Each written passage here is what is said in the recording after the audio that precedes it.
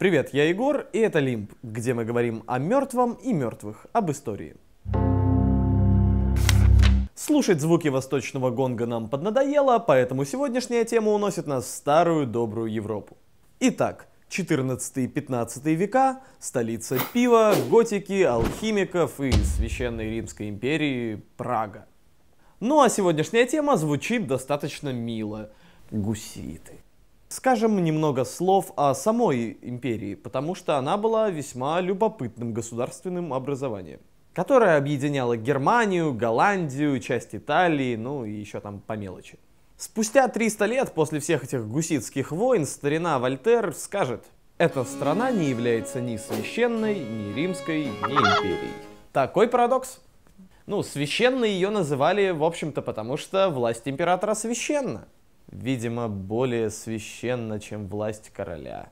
И это смотрится забавным на фоне того, что эти самые священные римские императоры реально никогда не могли найти общего языка с римскими папами.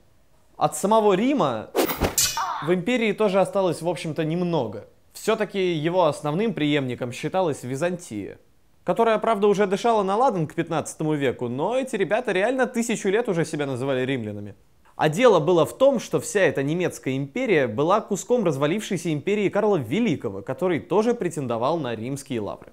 Это каламбур или тавтология? А уж с империей вышло, ну, совсем глупо, потому что, несмотря на наличие императорского титула, тогдашняя вся эта страна представляла собой скорее конфедерацию независимых графств и герцогств. Ну а императора Кайзера выбирали посредством голосования. Ну а если учитывать, что преимущественно немецкое население разбавлялось бесконечными всякими чехами, голландцами и итальянцами, то становится ясно, что под грозным названием Священная Римская империя прячется нечто. Нечто, что довольно трудно назвать цельной и централизованной страной, я имею в виду.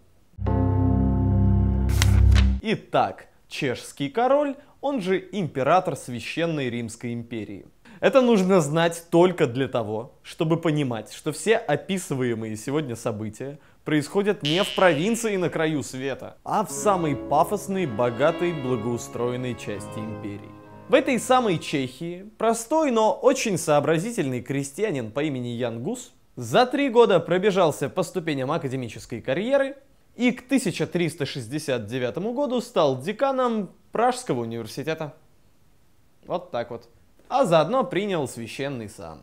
И, видимо, успехи на поприще науки так вскружили голову перспективному и не очень молодому Яну Гусу, что тот моментально решил, что у него есть несколько идей, которые нужно срочно нести в массы. И стал проповедовать. Суть проповедей заключалась в ряде претензий в адрес католической церкви.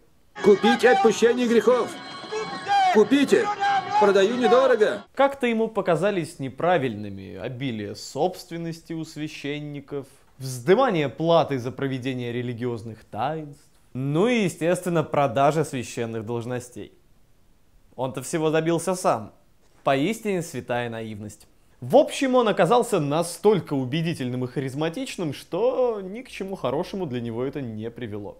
Сначала его просто попросили больше не читать проповедей. В ответ на что он просто уехал из Праги нести классово близкие идеи крестьянам. Закончилось это все тем, что его вызвали в Рим на священное собрание, посвященное расколу церкви, ну, на православную и католическую. Ну, в общем, и сам император выдал ему специальную грамоту, утверждающую, что Яна Гуса никто не тронет. Ну, типа как независимого эксперта. Короче говоря, не стоит доверять имперским бюрократам. Грамота оказалась какой-то не такой, которую ему обещали. Нет, штампа нет. И гуса-оперативника сожгли на костре. Кстати, есть легенда, что наш профессор, уже стоя в костре, э, предсказал приход Мартина Лютера. В тот момент, когда закричал «Я-то гусь, но за мной придет лебедь».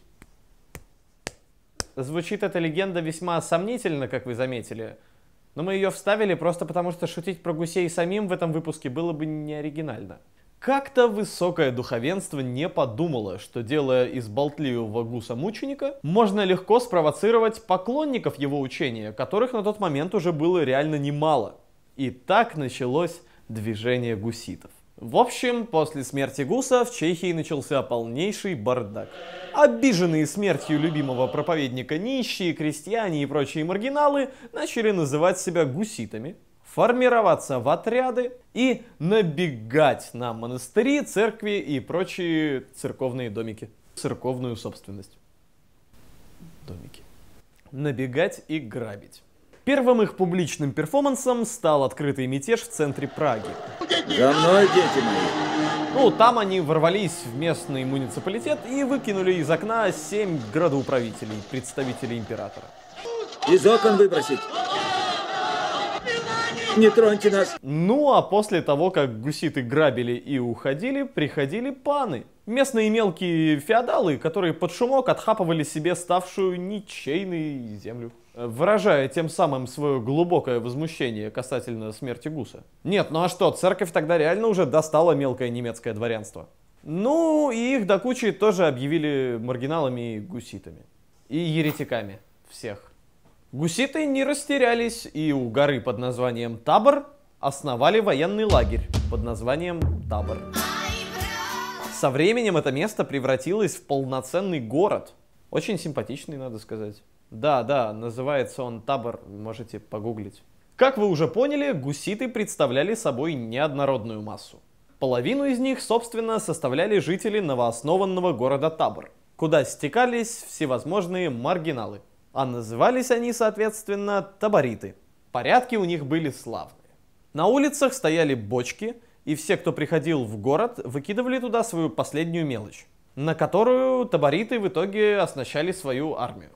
Вообще они там организовали практически анархическую республику. Выступали табориты, в общем-то, против любой формы власти. Против священников, священных императоров, священных королей, ну и так далее. Запросы у другой половины гуситов, так называемых умеренных, ну, куда входило всякое обнищавшее дворянство, были попроще. Грубо говоря, они просто хотели, чтобы церковь перестала с них драть деньги за все. Ну и еще, чтобы богослужения начали проходить на чешском. Ну и чтобы они упростились. Не очень много это на самом деле. В общем, всех этих людей объединил в единую армию парень с прекрасным именем Ян Жишка. Сюда! Обедневший дворянин, но бескрайне талантливый полководец. Этот товарищ ввел в армию гуситов весьма жесткий устав, в котором предусматривались действительно суровые наказания за любые дисциплинарные проступки. А также придумал совершенно нищебродскую, но крайне эффективную тактику, благодаря которой армии папства и империи регулярно обламывали зубы об армию гуситов.